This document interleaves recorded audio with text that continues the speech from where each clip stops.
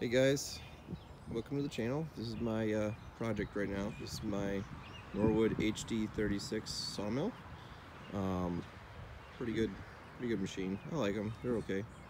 You know, it does the cutting. There's things I don't like about them, and uh, I'll just quickly go over them. I hate, absolutely hate the the rests. They're terrible. They're horrid. They're the worst. Um, just gonna be honest. Don't like them. Um, it'd be great if they had a different setup. Like we had on these, they make them so that you can, there's like a hand crank that would mount right here we had on it and it'll like lift it up and stuff like that. They're terrible. They don't work. They don't work at all. Um, I have used these things like, this part of it like once. Um, they're like the, for when you're turning the log. Um, I hate the fact that I have to reach over to undo these. It drives me nuts. Um, I hate how these are just, they're flimsy. They just, go wherever they want to. They don't hold square or anything. They, they, they suck. They just suck. They're terrible. So in the future, that's one of my projects. Like we had, so these had the chain on them. We actually made these levers to switch it back to the standard because either we didn't have the standard ones or whatever, but I actually just made those. Um, the dogs, these are actually pretty nice. These work out really well. Um, I just don't, not a big fan of this whole tube steel thing they got going on here. It's weak. It just, like the whole, of course this is the one that doesn't because the pin right here is bent, but um, the whole thing just, it's just flimsy.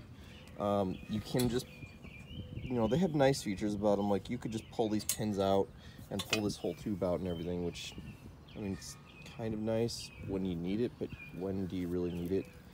Um, some of the downsides to this machine are that this particular style of frame, I think they changed it, um, doesn't stay straight. It, I mean, it stays straight like this, like in this direction it stays straight, but like it, you know, the ground sinks and everything under these things. If you were, like this thing had the trailer package on, it, you can actually see the axle over there. I took it off because like we just don't use it. Like I've used it once. The one time I used it with the to take it somewhere was when I went. The, the first time I used it actually, I went and cut a 36 inch diameter hickory. Yeah, that was that that was uh, a learning experience. Um, like it'll do it, and it did it like a champ. But uh, yeah, I not not a not no sawmill is gonna be good at being driven somewhere and set up nothing about that works well. When you go and put a freaking five ton log on something, it's just not gonna work out right. So, um, yeah, so I put these big uh, tie, uh, railroad ties under it and um, the ground sinks and everything. And, you know, this thing has been, it's, it's been used and abused. And so it's, you know, the frame is bent a little bit. So I actually, actually had to add a dock weight on this side to hold this one down and then loosen all the frame bolts, retighten them, straighten it all up. And I check it like every spring, make sure it's all good and adjust where needed. But that's about it. I'd like to put this on a concrete pad, but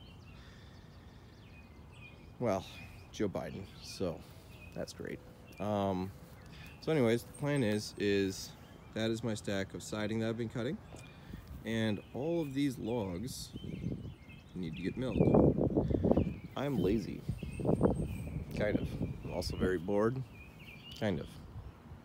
I'm just very intrigued with things. So um, the plan is to make a CNC controller for this thing. Um, they you you can buy them and you can put them on, but they're like several thousand dollars. Um, I don't have that kind of money, so I'm gonna make my own.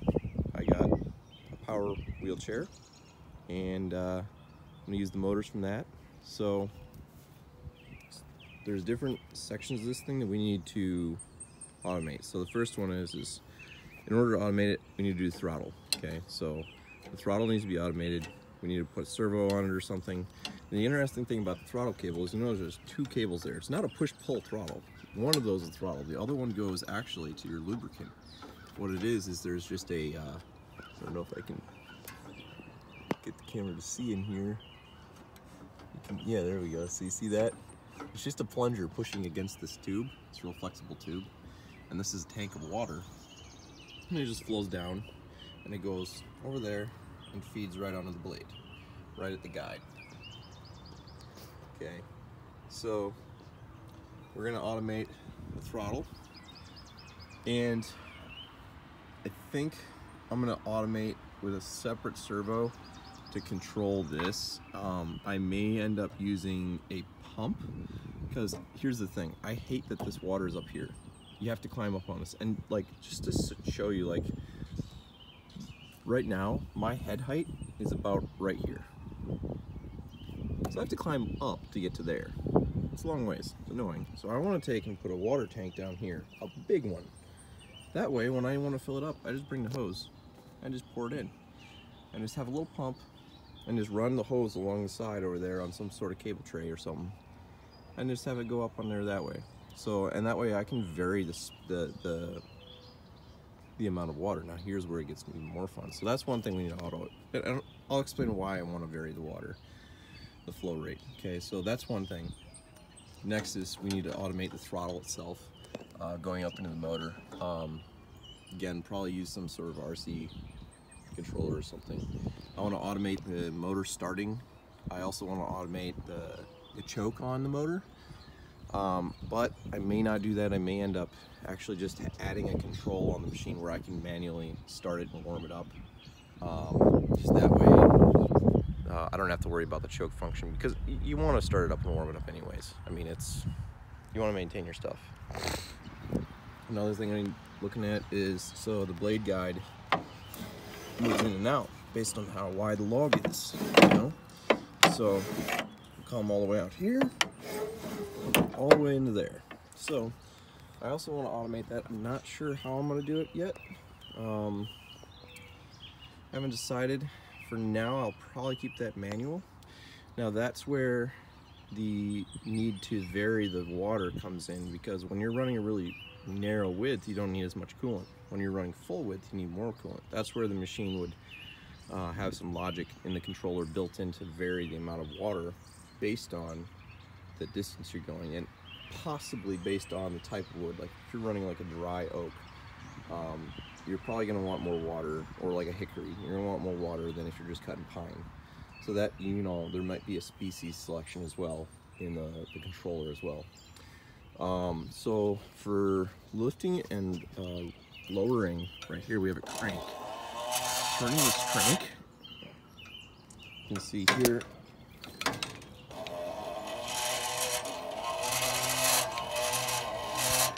So that's how you lower and uh, raise and lower it. So I welded a sprocket onto there. This is the, the, bar. And what you're hearing is there's a cable brake in the inside there. I don't know if I can get my phone to show you what it looks like.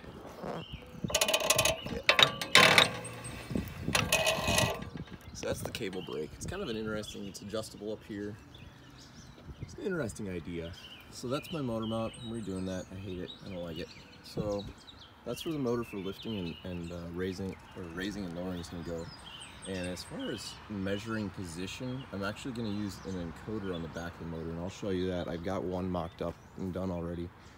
Um, so then for drive, so you have to drive the machine forward. So let me pull this up for those of you who aren't familiar with sawmills. So this whole blade assembly just uh, rolls right on this guy, right like that. Okay, so you raise and lower the blade, and then you just push this thing and it just goes. It's and it's not like it's hard to push. It's it's easy to use. Um, it just gets tedious. So, and, it, and especially with offloading the wood, it's better to have two people. I don't have two people, so I make this thing its own person. Yes, it will eventually be taking over the world. That's my plan. My sawmill is going to take over the world. So, to drive it, I have a chain mounted down on that end. And I pull this thing taut. Like that. That's what's gonna happen. So, let's see if I can show you how this is gonna look. The motor sits right here like this, and there's a sprocket on the motor right where my fingers are. And so that's how it's gonna pull and push it. And then this end of the chain is, it's not hooked up right now, but this end of the chain is gonna mount something over there.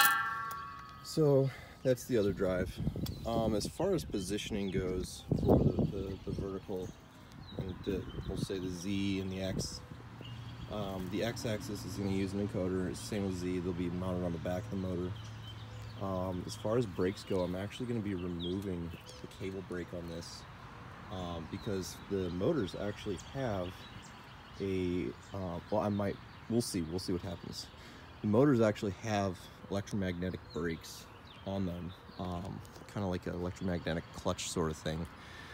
So um, that's what we're going to do there.